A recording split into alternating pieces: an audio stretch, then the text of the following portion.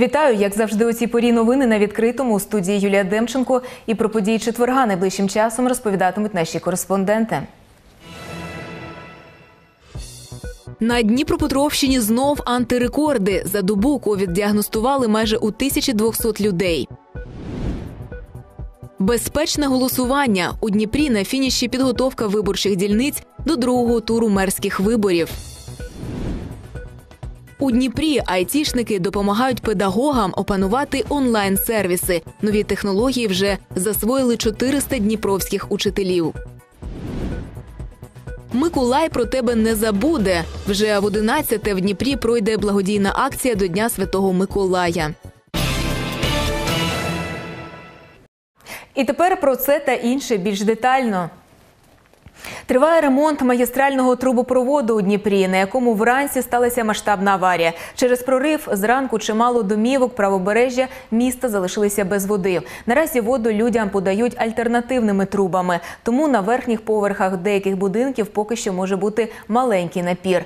До цих домівок підвозять технічну воду. Як пообіцяв міський голова Дніпра Борис Філатов, повністю водопостачання відновлять до кінця доби. Комунальники кажуть, аварія сталася через перепади тиску та застарілі комунікації. Водовод э, 60-х годов, то есть уже довольно-таки э, продолжительное время он эксплуатируется. Э, про- Будет сброшена вода и с- про- проведены сварочные работ- работы по ликвидации этого повреждения. В связи с тем, что вырвало значительную часть ранее установленного окна, которое было с- заварено там, лет, наверное, 15-20 назад. После того, как э, мы перекрыли водовод, то есть на западном уже восстановлена э, подача, на левом берегу восстанавливается, и я думаю, что в ближайшее время эта проблема будет решена. Черговий антирекорд в Україні. Понад 13 тисяч недужих за добу. Наразі кількість хворих сягнула майже 600 тисяч, кажуть у МОЗ. Тому протягом останніх місяців по всій країні поступово нарощували кількість ліжкомісць з підведеним киснем для найтяжчих хворих. Сьогодні їх 23,5 тисячі, але МОЗ продовжує збільшувати місця в лікарнях, щоб повністю забезпечити потреби країни. Більше ніж в сім разів ми збільшили кількість, і це не межа. Ми продовжуємо збільшити. Ми будемо збільшувати е, до того моменту, поки ми не будемо впевнені, що вона не просто 100% забезпечує, а навіть з відповідним запасом, що в нас не виникає відповідних проблем. У два рази більше на Дніпропетровщині за останні два тижні захворюваність на коронавірус зросла на 50%. Такі дані наводять в обласному департаменті охорони здоров'я. Понад 1300 пацієнтів зараз у лікарнях, понад 600 людей отримують кисневу підтримку. Майже 13 тисяч лікуються вдома під наглядом сімейних лікарів. Ковід-19 на Дніпропетровщині перенесли і майже півтори тисячі медиків. Загалом лікарні області можуть розмістити понад 4 тисячі хворих на коронавірус. На сьогодні 66 мільйонів гривень субвенцій з державного бюджету вже передано на території і підписано договорів станом на 19 листопада на 48,8 мільйонів гривень, в тому числі на придбання кисневих концентраторів на 44,7 мільйона гривень. Тобто найближчим часом вже кількість кисневих концентраторів буде зростати. А от у Дніпрі збільшується кількість людей, які подолали коронавірус. З початку пандемії захворіли трохи більше 14 тисяч городян. 70% з них вже одужали. Такі дані наводять у міському департаменті охорони здоров'я. З ковід сьогодні борються понад 4 тисячі городян. 3,5 тисячі з них лікуються вдома. У стаціонарах майже 700 пацієнтів. Вчора в Дніпрі було 296 випадків захворюваності підтверджених. 174 людини одужали. Загалом у місті за весь період епідемії захворіло 14 тисяч 35 людей, мешканців Дніпра. З них одужало на сьогоднішній день 9 тисяч 800. Без маски штраф українців, яких спіймають без масок у громадських місцях, нестимуть адміністративну відповідальність. Відповідний указ підписав президент України. Маски можуть бути медичні або пошиті власноруч, і вони мають повністю закривати рот та ніс. В іншому випадку на громадян очікує штраф від 170 до 255 гривень. На думку урядовців, таке покарання підвищить соціальну відповідальність українців, а також зменшить кількість нових захворювань захворілих на ковід. Як дніпряни поставились до новації? Дивіться далі. Я считаю, что это правильно, как правило истины для всех.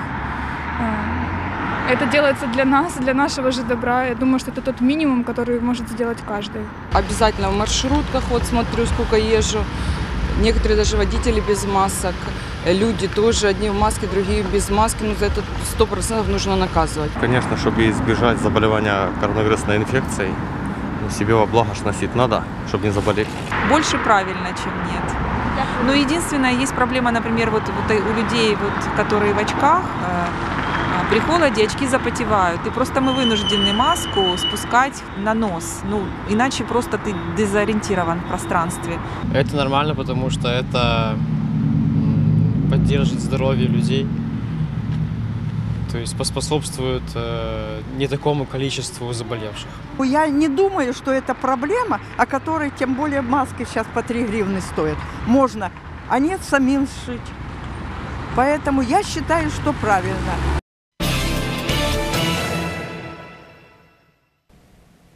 Рух не зупинятиметься. Три тисячі кілометрів територіальних, регіональних, національних та міжнародних доріг Дніпропетровщини до зими готові. Про це повідомили у службі автомобільних доріг області. Дорожники встановили 600 обмежувальних зимових знаків, запаслися паливно-мастильними матеріалами та сумішю для посипання доріг. На поготові понад 200 одиниць спеціальної техніки. Крім того, розробили план взаємодії з поліцією, рятувальниками, Укртрансбезпекою та центром гідрометеорології. У службі автомобільних доріг кажуть, готові допомагати кермувальникам, але в свою чергу закликають їх дотримуватися елементарних правил безпеки. Водії автівок повинні перебути свої автівки на зимові шини. Також, е, коли виїжджати, е, виїжджати, е, як, якщо є можливість при повному баку і мати зарядний пристрій для своїх телефонів. Ви можете у случаї небезпеки зателефонувати на нашу гарячу лінію е, за допомогою е, месенджерів телеграм-каналу та вайберу та надіслати е, на, ці, на цей телефон, надіслати свою геолокацію з питаннями, які у вас виникли. У Кам'янському вантажівка наїхала на жінку з дитиною. Аварія сталася на проспекті Свободи. За попередніми даними, водію вантажівки стало зле. Він вилетів з дороги та зачепив жінку з дворічною дитиною на пішохідній зоні. Після машина врізалася в стоп. Хлопчика з численними травмами доставили до обласної дитячої лікарні у Дніпрі. Кермувальника ушпиталили до Кам'янської лікарні швидкої допомоги. Медики кажуть, спричинити аварію міг інсульт у водія. Ну, Я бачив, як на власні очі, що машина їхала з, по з вулиці Сировця. Чи гальма від, відказали, чи ну, дитина сиділа з матусею на лавочці. Е, Дивом, що вони ну, встигли. Привезли е, дитину двох років і чоловіка 65 років. Е, обоє були госпіталізовані. Дитина вже відправлена в обласну дитячу клінічну лікарню. От, а у чоловіка стан стабільний, він е, в реанімаційному відділенні під спостереженням.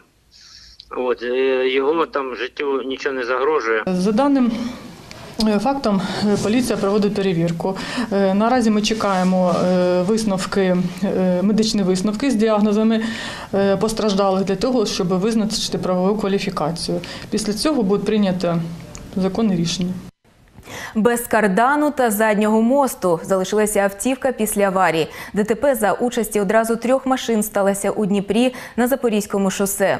Хюндай виїхав з проспекту Труда і зіткнувся з БМВ, що рухалася у бік торговельного центру Дафі. Від удару мікроавтобус розвернуло, і він зачепив ще одну автівку. Одна з машин зупинилася за півсотні метрів від місця ДТП. Удар був такої сили, що у Хюндай вирвало задні колеса, а в одній з БМВ сильно ушкоджена передня частина. В аварії постраждала лише кермувальниця Hyundai. Жінка отримала незначні травми голови і від госпіталізації відмовилася.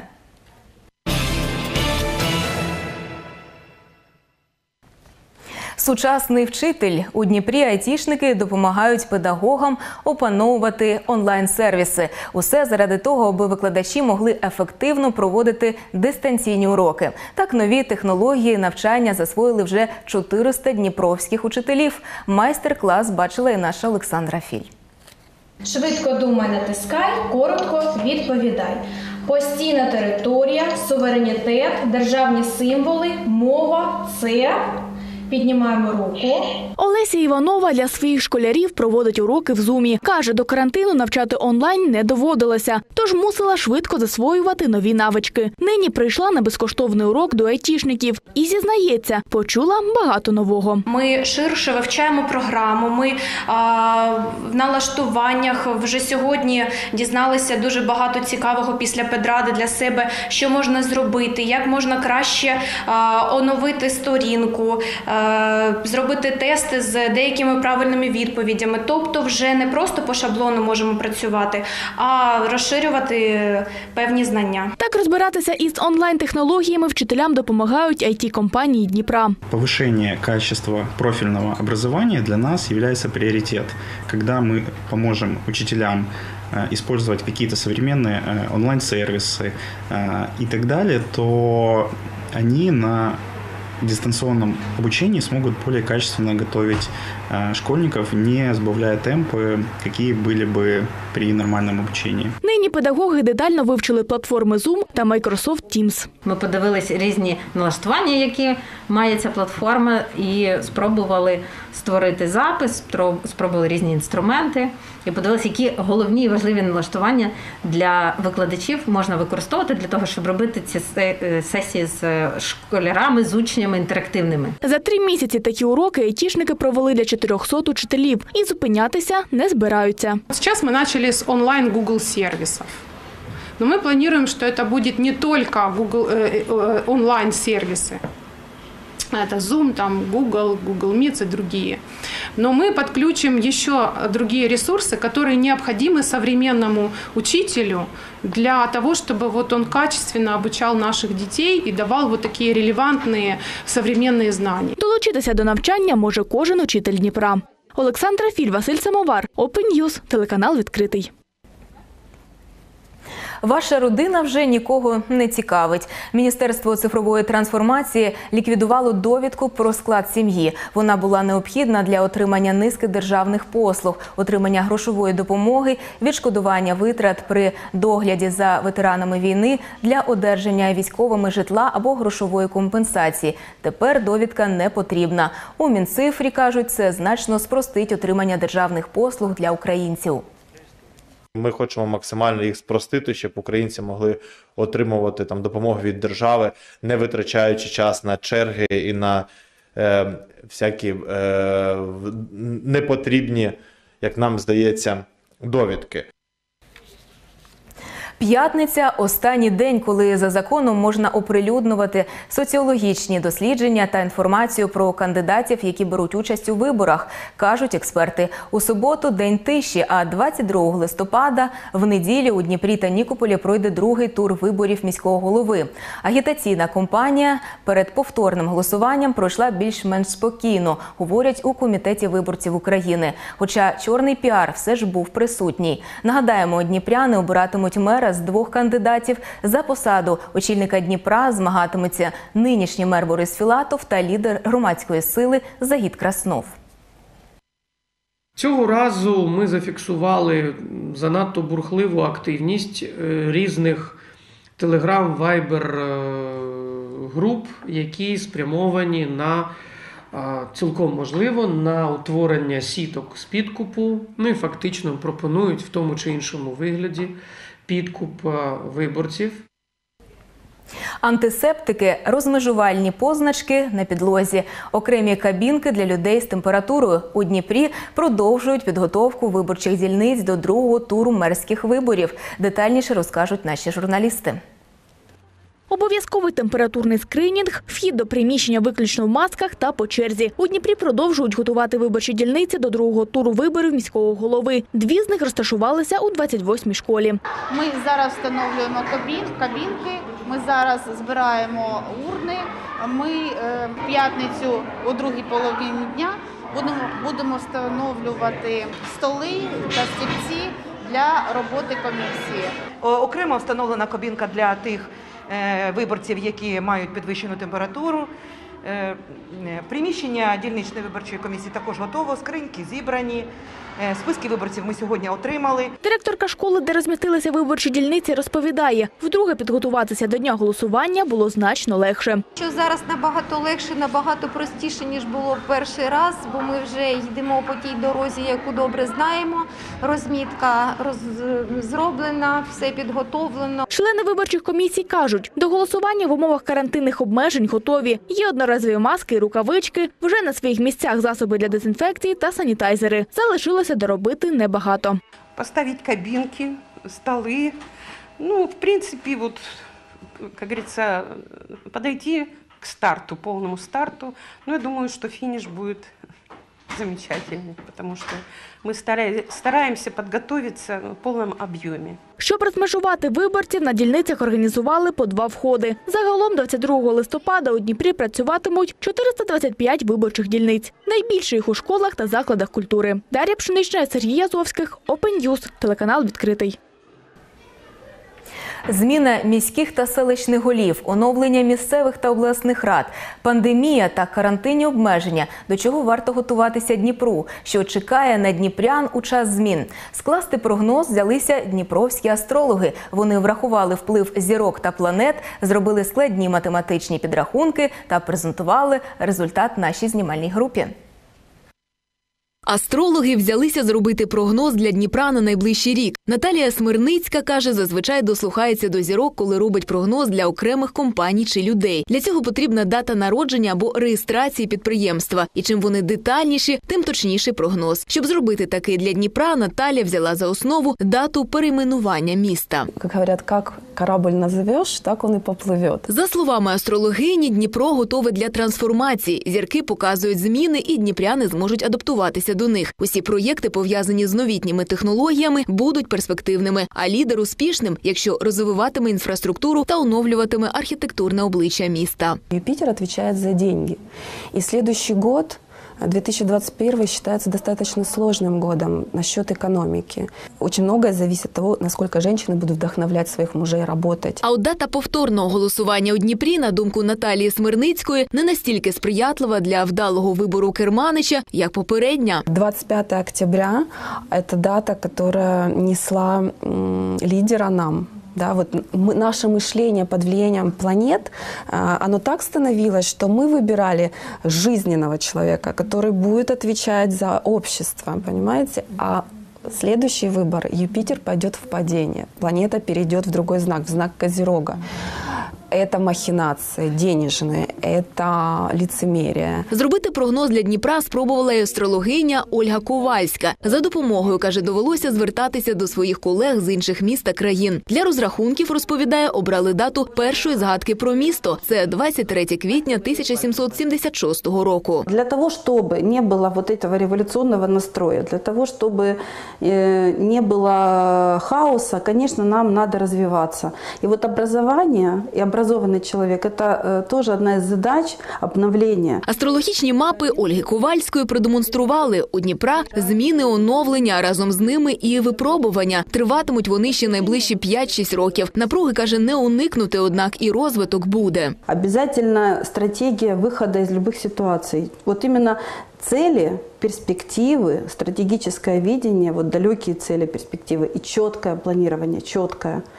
Но четкое уже э, не так, как было раньше, а так, как должно быть сейчас, по-новому. Потому что те, кто держится за старое, вот они, конечно, будут встречать какие-то препятствия. Дніпро наближається до ювілейної 250-ї річниці, розповідає Ольга Ковальська. А отже, саме час підбивати підсумки та будувати плани. Саме зараз у Дніпра найбільший потенціал для перетворень. Головне пережити коронавірусну кризу. І від того, як ми це зробимо, каже, залежатимуть і розвиток економіки, і фінансове благополуччя. Утім, астрологи зайвий раз нагадують, якби зірки не позначилися на майбутньому, люди самі визначають його, коли роблять вибір свідомо. Юлія Демченко, Василь Самовар, Євген Коденцов, Open телеканал відкритий.